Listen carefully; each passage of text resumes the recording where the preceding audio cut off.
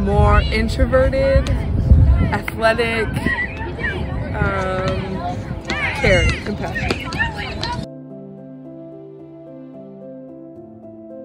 Strengths? Um, I would go back to how I described myself. I would say compassion and caring is one of my strengths. Um, introverted is also like a small superpower. But let's say my two strengths.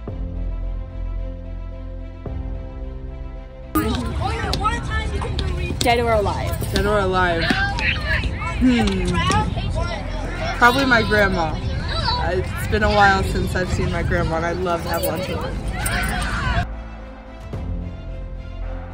Well, I'm wearing a superhero shirt today, I'm Superman, so I'd probably have to say Superman's my hero. Okay. My biggest fear.